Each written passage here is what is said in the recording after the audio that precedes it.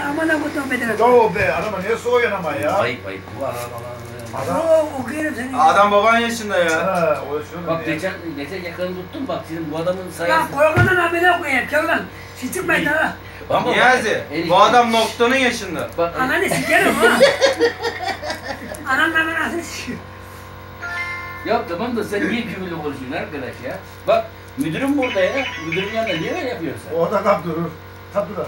Onu ya öyle ya öyle kötü sıkıyor.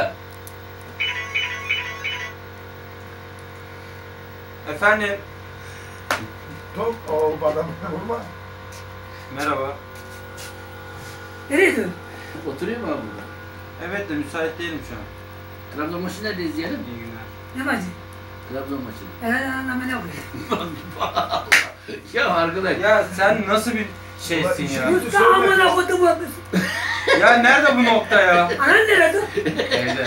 Koyayım ananın çocuk Ben de ananı. koyayım noktaya.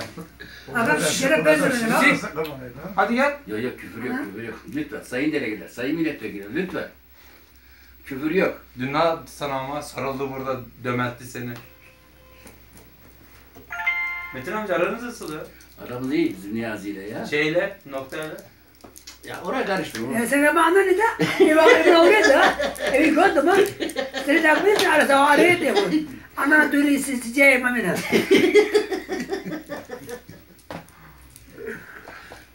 Dişin mi şişti senin? Yüzüm gör. Bakayım çek elini. Ha bu taraf şişmiş. Dur bakayım. Hmm, yok bu taraf şişmiş. Anan abi. he. Ya bir dakika insan gibi bir şey söylüyor sana ya. Şöyle dur. Az, az bir şey şuraya açsana ağzını. Ya çok. Lan dişine bakacağım. Bakma. Çıktım ana ne ya. Az bir ucunu vereceğim ağzına. Ben hepsi altını.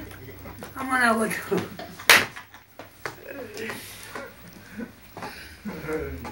Ah be Niyazi. Çok aman koydum. Sen şey biliyor musun? Ola Niyazi şarkısını. Ola niye yedin bunun Niyazi şarkısını? Sen yedin bunu. Sen yedin ya. Sen kaç sene kadar yedin? Yarım santim falan. Sen? Aman et sıktım. Diyeceğini sikeyim sana. Bugün izinli misin? He, şirket izin veriyor da ana